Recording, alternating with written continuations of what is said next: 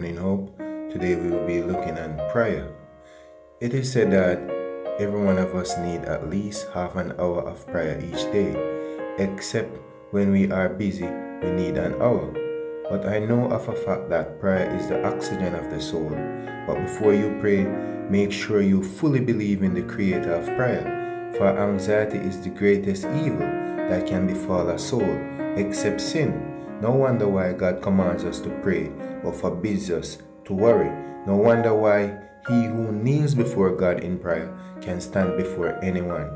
For in the Bible and spiritual books we see God, but in prayer we find Him.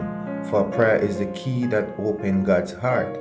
But why do we pray when God knows everything already? For He is the all knowing God, the Almighty and the Sovereign of the universe who is in control of all things. What could we possibly add to his wisdom with our feeble attempts at prayer when he already know our wants and needs and know how to supply them? 1. We pray because we are God's children and he loves to hear from us. 2. We pray because it deepens our trust in him. 3. We pray because it causes us to depend on him. 4 we pray because it gives us the chance to express ourselves completely to Him. 5. We pray because our prayers move the heart of Him. 6. We pray because it is an amazing way that we get to be involved in what He is already doing in our world. 7. We pray because prayer is the key to unlock heaven's storehouse, and it is and it is our only means and way of one and one communication with Him. For without communication, a relationship will cease to exist. For the all of us is the evidence of prayer, believe it or not. Someone was praying for your recovery when you were sick. Someone was praying for your safety when you were going through that troublesome time. Someone was praying for you to give your heart totally to the Lord because you were being very unholy. Do you need written down evidence of unanswered prayer and the effect of it? Well, the Bible have few and even a lot for you. Abraham eldest servant prayed for a wife for Isaac, and before he finished pray, Rebecca appeared fulfilling all the sign that he asked for to prove she is the one for Isaac. Genesis 24, 12 to 4 will let you know that. Elijah prayed for fire from heaven to prove that he is a man of God, and it was answered. 2 Kings 1:12 tells you that Hezekiah prayed for deliverance from the king of Assyria, and he was delivered. 2 Kings 19, 19, 35 and 36 tell you that Daniel prayed three times a day after he found out about the plans of the high officials of the king was plotting against him and God sent an angel to shut the lion's mouth when he was thrown in the lion's den. Then because of their counsel against him, Daniel 6, 10 and 22 tells you about that. And there are many more examples in the Bible, which is the evidence of answered prayers. But what about unanswered prayers? Why do people pray and they do not receive an answer? It is said that God answered prayer in three particular ways. One, yes which is immediately, two, no, which is immediately, three, which is wait. But what can be the cause of unanswered prayer?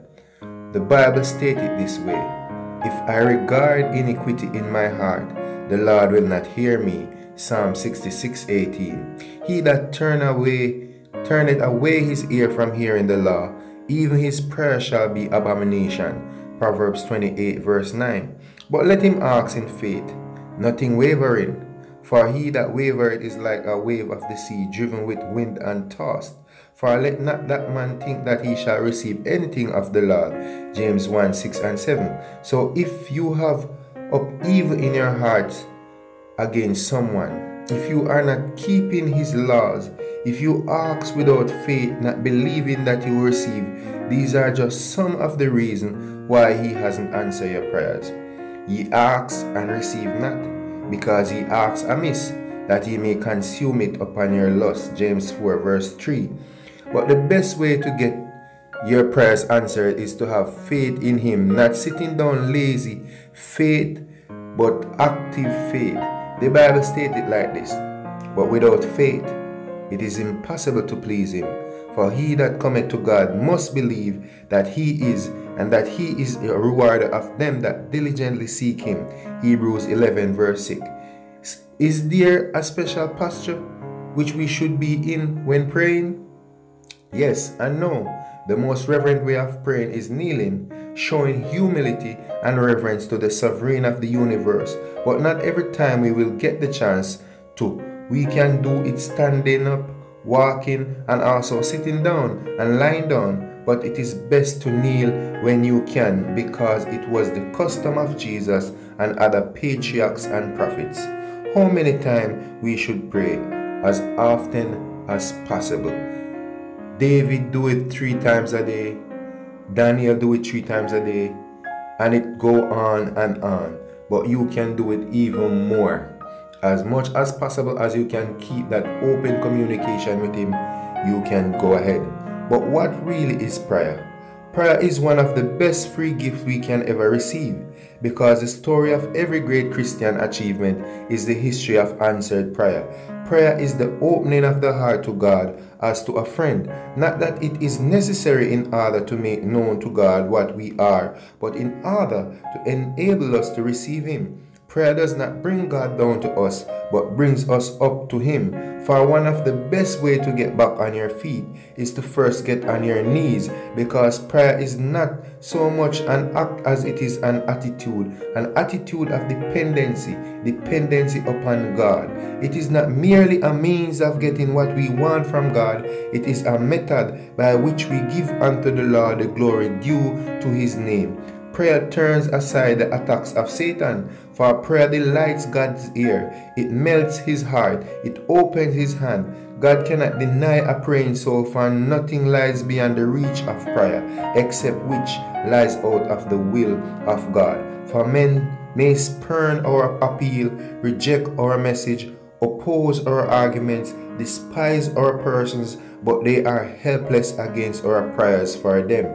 Lack of prayer make a preacher a man of words, not of power. For with more prayer comes more power. God shapes the world by prayer.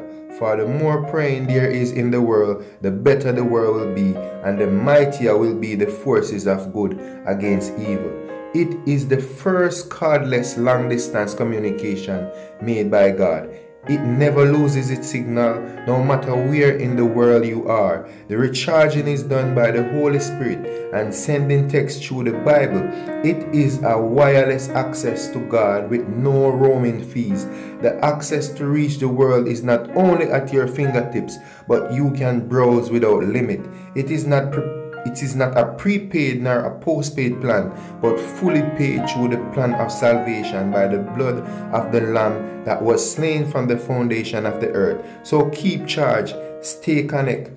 So don't forget to pray because God didn't forget to wake you up every morning. So pray about everything and worry about nothing. For if you can stay connected with your iPhone all the time, why don't you take the time out just to connect yourself to God all the time? For that service is free and everlasting, but you have to pay for the iPhone service and it is not permanent. So make him priority and everything else secondary. And remember, without prayer, you cannot move mountain. So thank you for watching. It was once more another eye-opening hope. Remember to subscribe, like, and share. Peace.